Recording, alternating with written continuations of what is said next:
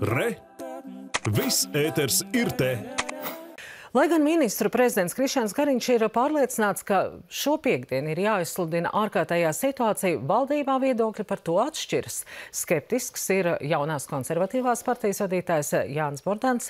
Savukārt ekonomikas ministrs Jānis Vitenbergs no partijas KPV LV uzsver, ka viņa atbalsts ārkārtējai situācijai būs atkarīgs no ekonomikai paredzētā atbalsta. Un plašāk kolēģis Mārs Klūga.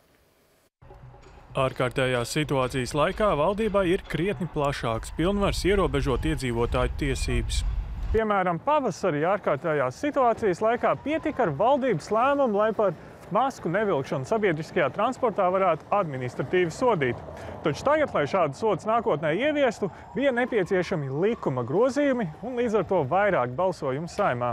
Premjers Krišjāns Kariņš raidījumā rīta panorāma atkārtoja, ka viņa prāt ārkārtējā situācija ir nepieciešama. Tas ļautu straujāk ieviest pasākums, ar ko ierobežot cilvēku tikšanos. Mans viedoklis un mans arguments maniem kolēģiem ir, ka mums ir jāiet daudz straujākiem soļiem, jo šis vīrus negaida mūsu lēnīgumu. Šis vīrus strauji izplatās, šis vīrus izmanto jebkuru iespēju, kur cilvēki kontaktējās un pulcējās. Tātad mums ar mūsu pakāpeniskumu uh, nepietiek. Tomēr citi valdības locekļi pārliecināti par ārkārtējās situācijas vajadzību nav. Veselības ministra Ilza Viņķela stāsta, ka būs jāievieš stingrāki ierobežojumi, taču vai tādēļ nepieciešama ārkārtējā situācija, esot jāvērtē juristiem. Ierobežojumi būtu nepieciešami plašāki uz pasākumiem, kas vēl ir atļauti. Un tas mums ir kultūra, izklaide un arī visdrīzāk tāda sabiedriskā ēdināšana. Vai to var izdarīt esošā likuma rāmī?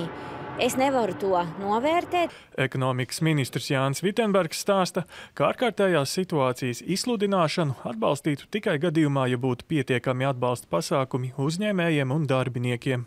Vitenbergs uzskata, ka uz ārkārtējās situācijas laiku jāatjauno dīkstāves pabalsti, kā arī jānosaka izdevīgāki nosacījumi slimības lapām.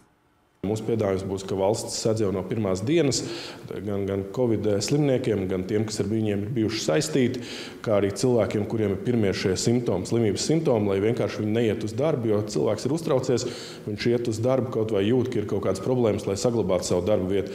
Rīt par atbalstu ekonomikai ārkārtējā situācijas laikā spriedīs finanšu ministra Jāņa Reira darba grupa. Savukārt tieslietu ministrs Jānis Bordāns uzskata, ka vīrusu ir iespējams apturēt arī bez ārkārtējās situācijas. Viņa prāt galvenais ir cilvēks pārliecināt ievērot jau esošos ierobežojumus.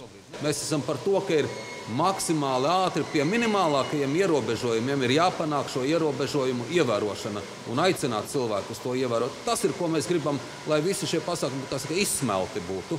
Zemkopības ministrs Kaspars Gerhards no Nacionālās apvienības norāda, ka spries par ārkārtējo situāciju varēšot brīdī, kad būs redzami konkrēti priekšlikumi. Savukārt viņa partijas biedrs kultūras ministrs Nauris Puntuls norāda, ka lēmums būšot atkarīgs no mediķu ziņojumiem piekdien. Mārcis Klugulavs Perševits, Latvijas televīzija.